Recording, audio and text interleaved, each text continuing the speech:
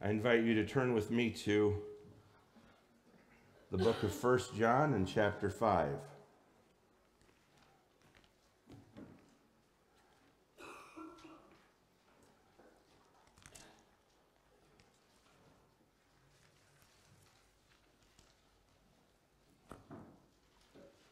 We're starting up at verse 1.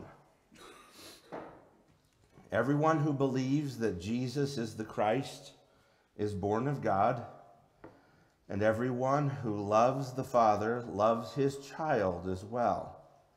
This is how we know that we love the children of God by loving God and carrying out his commands. In fact, this is love for God, to keep his commands. And his commands are not burdensome, for everyone born of God overcomes the world. This is the victory that has overcome the world, even our faith. Who is it that overcomes the world? Only the one who believes that Jesus is the Son of God. This is the one who came by water and blood, Jesus Christ. He did not come by water only, but by water and blood. And it is the Spirit who testifies because the Spirit is uh, because the Spirit is the truth. And there are three that testify the Spirit, the water, and the blood. And the three are in agreement.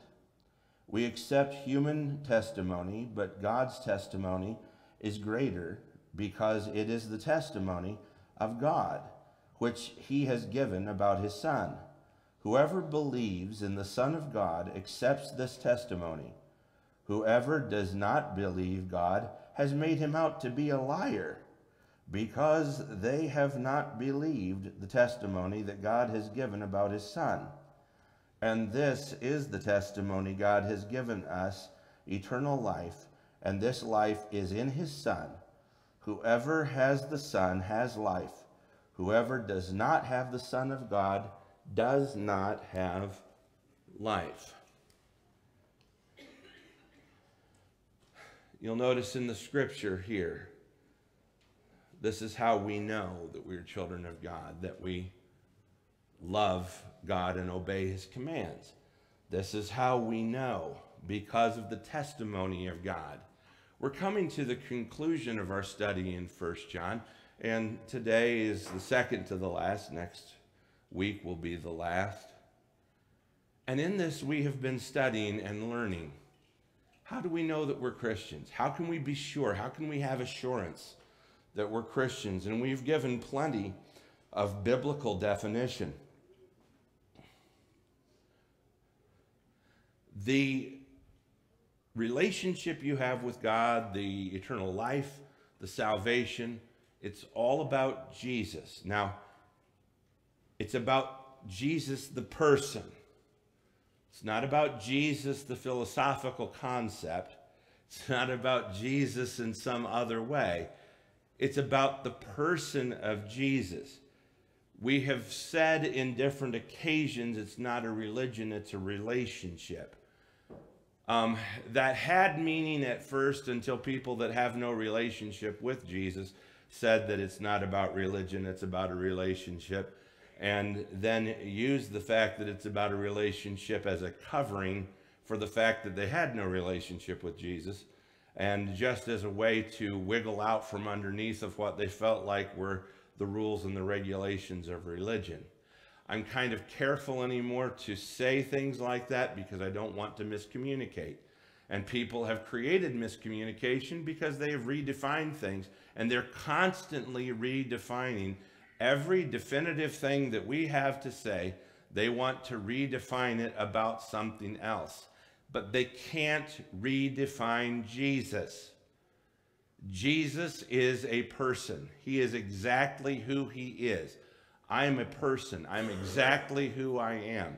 You may have a theory about Pastor Scott, and you may have an idea about Pastor Scott, but the people that know me know me okay? And they may know me uh, on one level or know me on another level, but they still know me, and I'm a person. And if they wanted to know more about me, they could ask. And I would freely give to them more information. It's the same thing with Jesus. We all know Jesus. All of us that are Christians, we all know Jesus. We know him to at least some extent. We know him to from whatever vantage point we have gotten to know him together as a church discussing our experiences with Jesus, we could actually help each other get to know Jesus better. But when it comes down to it, if we wanted to know more about Jesus, we could ask him. And James says he will tell us freely. But we can't doubt and we can't call him a liar. Jesus isn't interested in having a conversation with you about himself if you're just going to blow it back in his face and say, Pfft. he doesn't have time for that. Jesus is King of Kings and Lord of Lords. Do you think he has time to be bum of bums? And to be so far below you that you have the right to disagree with him and call him a liar? He's not the bum of bums. He's not the hobo of hobos. He's the King of kings and Lord of lords. He's not below you. You're below him. And oft times we go to the Lord with all kinds of doubts in our minds as if somehow he's going to shoulder them. Yes, he's big enough to handle them, but this is how he handles them. He's not going to listen to you. He's not going to deal with you. What does it say? Without faith, it's impossible to please God, for he who comes to God must believe that he exists and that he rewards those who diligently seek him. You come to God and you say, mm, I don't really believe that you exist. So, whatever, you know, people make you up, whatever. If you don't believe that there is reward in seeking him out, you're never going to seek him. You're just playing games. Don't play games with God. Okay? For one thing, he's a Monopoly champion. He will beat you every time. God knows the score. You probably don't. And the score is Jesus. Ultimately, that is everything. All love and salvation is in Jesus. This means if you do not have Jesus, you do not have love as God defines excuse me, as God defines love. My voice is still a little harmed from my recent bout with a cold, so I'm squeaking a lot today like a, adolescent child. But uh, nevertheless, I will press on. Um, but uh, God defines love differently than you and I define it. We define love based upon how people affect us. God defines love based on how he affects people. And it's, it's different. Believe me, God does not get love the way he deserves love from his creation. He doesn't. He does not get love the way he deserves love from you. Every one of us here could say, I love God, I love God, I love God, but when it comes down to it, there's a limit. Do you love God in the storm? Do you love God in poverty? Do you love God even though you don't have money to put food on the table? Do you love God even though your children are weeping? We have our limits we say, well, God loves me, so things should be going very well for me. But then I think about the testimony in Hebrews 11 about all of the different people that served God and how they were destitute. How many of them were chased from town to town. How many of them were killed for their faith. How many of them lived in caves and in holes in the ground and had to wear had to wear the skins of animals because they had no money for clothing otherwise. I don't read in the scripture about how God prospers people every time simply because he loves them. I find that the closer you get to God, the more of a stranger you are to this world. And the more of a stranger you are to this world, the more likely this world is to hate you. Not love you, but hate you. So love as God, does, God describes it as, as God sees love, it's not found in your ability or capability to love. It is found in his son Jesus. If you have Jesus in your heart, then you will know what love really is. But you will never know it in a romance. You will never know it in a mother and, and child relationship or father and child.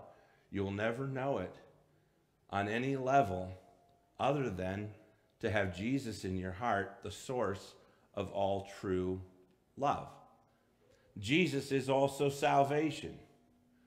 That means that everything in the scripture that talks about salvation is there for one reason to get you to stop trying to save yourself and to receive Jesus Christ.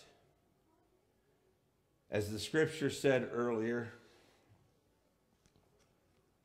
in fact, this is love for God to keep his commands, and his commands are not burdensome, for everyone born of God overcomes the world. And this is the victory that has overcome the world, even our faith. Who is it that overcomes the world? Only the one who believes that Jesus Christ is the Son of God. So we see that overcoming faith doesn't matter unless it's faith in the overcomer. The overcomer is Jesus. Each one of us, when we were growing up in, in school, were given an English textbook, a math textbook, and other textbooks. And we had to receive by faith what those teachers taught us in those books. We had to receive by faith that this is the proper way to speak English. This is the proper way to structure a sentence that one plus one really does equal two. And you say, well, I have evidence for that. Yes, but at first you had to receive it by faith. What about your social studies and history? What about philosophy and other things? All of these things are received by faith. And many times you are not taught the correct things in those subjects, and yet we receive them by faith. Yet we will receive by faith from a human teacher blindly anything they teach us. But when the Bible tells us something, we refuse to accept it by faith and we say to God, prove it. Prove it. Show me. Demonstrate. The teacher can tell you all they want about their ideas about history, their ideas about philosophy, their ideas about politics, and we just receive it. We nod our heads. Well, you're the teacher. Okay, I guess that we just, okay. Jesus tells us his viewpoint, and we say,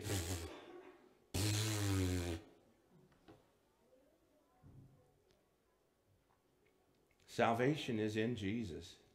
Without Jesus, there is no salvation. If you believe that he is the Son of God, you already have overcome because you have put faith in the one who overcame.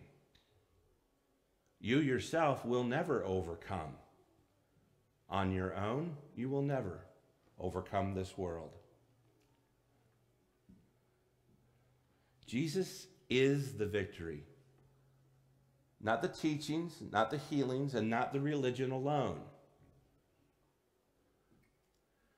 Many of us have struggled all of our Christian lives trying to follow the teachings of God, only to find that there is a strange dissatisfaction. Many of us have spent our lives seeking out the miraculous healings and miraculous deeds of God, only to find that they're so few and far between that we wonder whether or not nature would have gone ahead and wrought these miracles without our prayers or our intervention or our seeking out of God. Many of us have found peace and have found rest in the religion of church. We've found fellowship, we have found uh, harmony, we have found uh, the kind of belonging that we're looking for. And plus, we get a rousing, positive message every Sunday to pep us up so that we can make it through another week. But none of these things will save you. If you were to take the teachings of Jesus, let, us just set aside the Old Testament for now. We should never do that in practice as real Christians, no. But for now, mentally, let's just set it aside. If you could follow just the teachings of Jesus 100%, and you can't, but if you could, you would still not be saved. No. If you were to experience healings and miracles every day, if you were to see people raised from the dead and demons driven out of people, if you were to see the lame walking and the blind getting their sight back and the deaf receiving their hearing, if you were to have a constant, regular diet of all of that, in the end, you would still not be saved. And you say, well, how could one see that without it? Well, the scripture says this, and this is Jesus' testimony. He says, Many will come to me in that day and say, Lord, Lord. Did not we drive out demons in your name?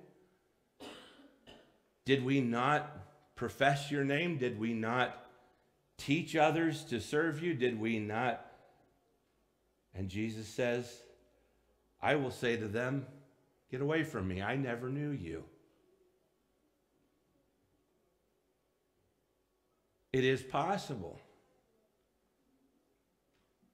that a person could be in the company of all of the great things of God, but never having received Christ as their Savior. I'm not saying received his teachings, received his healings, received the story of Christ. I'm saying if you've never received the person of Christ, and this is verified as we have read in the scripture. It is verified by the Holy Spirit coming into you, changing you, an encounter with God to where the sin you used to love now you hate, to where the direction you used to travel, you now travel in the opposite direction. Have you received the person of Jesus Christ? Because it is Him that is the salvation of men. It is Him that is the victory because He has overcome. If you put your faith in Him, you overcome by virtue of Jesus Christ. Not by virtue of His teachings, by virtue of His healings, or by virtue of His religion you overcome by virtue of the person of Jesus because he was the only one that could love God the way he deserved to be loved, that could overcome sin. He is the only one. If you are found in him in the day of reckoning, you will be saved. But if you are found still on the outside, trying to substitute with his teachings or with miracles or with some other thing to satisfy your flesh, you're going to find that you will not be on the right side of the Savior, but he will usher you off to the left. And to those on the right, he will say, Well done. Enter into the joy of the Lord. And to those on the left, he will say, Depart into everlasting fire, prepared for the demons and and the uh, angels, the devil and his angels. Last of all, all things testify to Jesus. If you read the Old Testament, the Old Testament is designed to do one thing make you aware that you're a sinner so that you will call out for a Savior. If you read the New Testament, the New Testament is designed to do one thing make you aware that even after you have the Savior, you still must daily overcome the flesh. There is no perfection for the individual. God has no perfection in store for you. None. I long to be perfect. I do. I long to be like Jesus Christ. I can't. But I can belong to him. I can be found in him. I can be made one flesh with him through my relationship. The law testifies to Jesus. The Spirit of God testifies to Jesus. For the Spirit who hovered over the waters of the deep moved God to speak. And when he said, Let there be light, that was Jesus. For Jesus is any manifestation of God. If I were to ask you, show me your mind, you might be able to show me where it is contained, but you could not open up your brain and show me your mind. If I was to say, show me your soul, you could dig around somewhere in your body and still not find your soul. For both are spiritual in nature. The only manifestation your mind or soul has is your body. It is like that with God. The only manifestation of his mind, the Father, or his soul, the Spirit, is the body, Christ. And so when Jesus speaks things into existence, John joins with him in testimony. And he says, In the beginning was the Word, the Word was with God, and the Word was God. Through him were all things made, and without him was not anything made that has been made. And he is righteous in saying so. The water, baptism, testifies of Jesus. We have the water at the time of the flood of Noah. And that, my friends, was Jesus finding grace with no, finding that Noah found grace with God. That was Jesus that gave him that grace. When they passed through the Red Sea, that was Jesus that parted the Red Sea. It was a physical manifestation of God's power when they passed through the Jordan. That was Jesus that held back the waters. The scripture has always pointed to Jesus. The Psalms point to him. The prophets point to him. Everything points to him. And the water that we are baptized with, when we are baptized into Christ, we go into the water as part of the world come out of the water, having been washed symbolically. But Jesus tells us that that washing, that daily washing you and I must have, comes by the word. And then, last of all, the blood. The Bible says repeatedly in the law, in the blood is the life. And the life of Jesus testifies to you and I. And so we have testimony overwhelming throughout the scripture. Jesus is Lord. Jesus is King. Jesus is all. He is salvation. He is love. He is life. He is hope. He is baptism. He is everything. To have the things of Jesus, but to not have Jesus, is to fall short of the glory of God. And we have all fallen short of the glory of God, but He has given us Jesus Christ so that the distance between us and perfection could be made up in him. Jesus is your righteousness. Jesus is your holiness. Jesus is your all in all. And for us to struggle and to strive to do anything less than to simply remain in Him, to simply abide in Him. It is a pointless and aimless struggle. Go to your prayer closet. Go to your scriptures.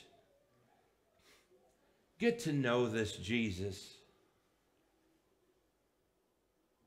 Don't just expect him to hang out with you. You hang out with him. Don't expect him just to show up. You show up. If you love him, if he is your king, if he is your Lord, bow before him in the morning and ask him, What would you have me to do? Close the day by asking him, How did I do? Ask him every day. Seek him out every day. Every day that you can bless someone, bless them. You're a child of God. You come from heaven.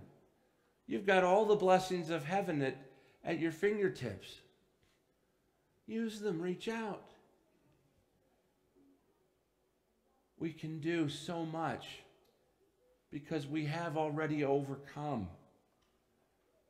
We're not struggling to overcome. We have received him who overcame. So rest in your assurance.